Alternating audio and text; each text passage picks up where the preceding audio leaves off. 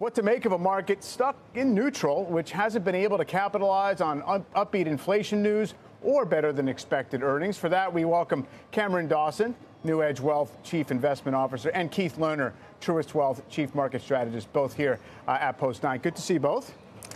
Um, so uh, let's start there. I mean, we can frame this, Cameron, as this is perfectly routine. The S&P had a total return of 20% through July. We're just digesting the gains. Uh, it's very normal if it's a bull market to have yeah. this happen. Maybe even something deeper than what we've seen.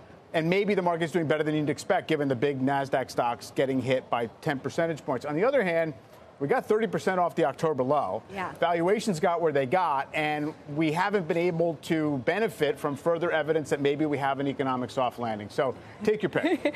yeah, I think it is the combination of all of those things. And we think it is probably right to start asking the question did we hit the valuation ceiling? Because we saw things like tech valuations up 50% from the October lows. So how much further could they run? We've certainly pulled back a little bit. The other aspect is yes, we've had those earnings beats, but they haven't resulted in earnings expectations getting revised higher for 23, 24, or even really 2025. So earnings coming in better than expected, but we're really not raising estimates, which helps kind of point to this sideways chop that we've been in.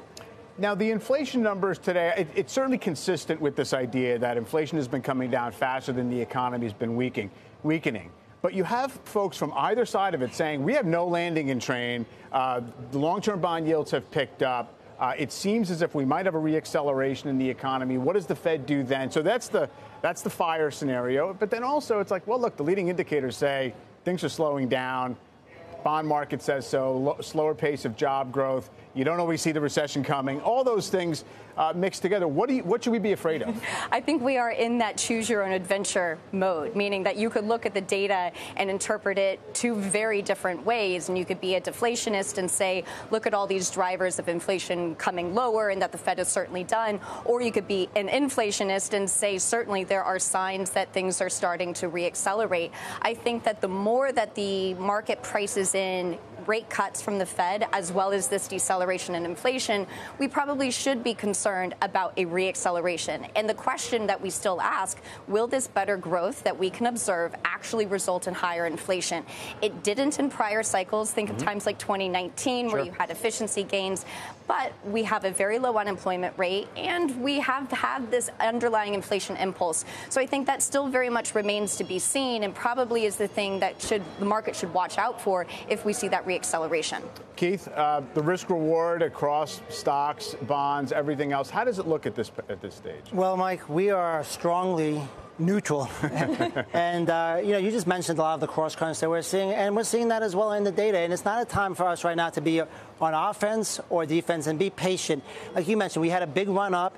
And I think if you think about why do we have such a big run up this year? Well, we had very low expectations coming in the year, and we beat on the earnings side, we beat on the economy, we beat on the inflation side, and now that bar has been raised, and we all know we're in the seasonally choppy period.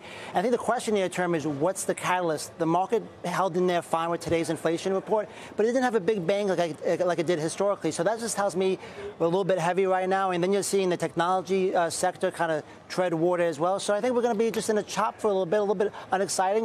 And I think being patient and waiting for an opportunity to be more aggressive makes sense. I mean, I, I get the idea that the bar has been raised. Once everybody acknowledges that you know the economy's in decent shape and inflation's coming down, it takes more than just confirmation of that, mm-hmm. perhaps, to get the market going. On the other hand market was acting like a bull market for several months coming into this phase. Usually, as the moment that people get bullish is not when it fails, sure. when the market completely falls apart. So I just wonder how much there is to feed off of uh, through this choppy period later in this year, just because you know things are as we expected them to be. Yeah, I think it's a good point. First of all, having some bullishness is actually a positive. You need more bullishness to confirm the trend up. So I don't see this as euphoric.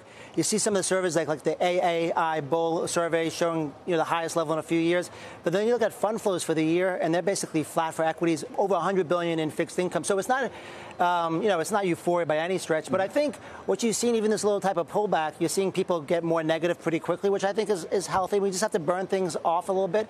And even today, so far, we've seen the market pull back to that 50-day moving average. So far, hold that. Um, so I think that's something near term you want to key off of.